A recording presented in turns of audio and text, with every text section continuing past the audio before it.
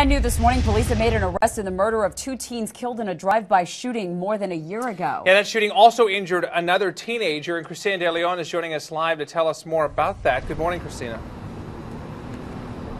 Good morning. According to an affidavit we got overnight from the magistrate's office, police spent uh, several months talking to several witnesses after this murder and were able to piece it together and make at least one arrest. In fact, they arrested this man, William Vidal, on capital murder charges. They say Vidal used an AK 47 in the ambush style attack.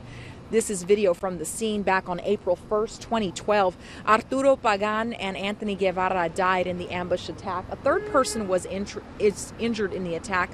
Their Mercedes was riddled with bullet holes. The three had just left a party near Bob Billa and Pecan Valley when this happened. Now, police say Vidal used an AK 47 that he hid underneath a sleeping bag inside the Ford Focus that pulled up alongside this Mercedes and just started opening fire. Now, it says that he planned the shooting in retaliation for another shooting.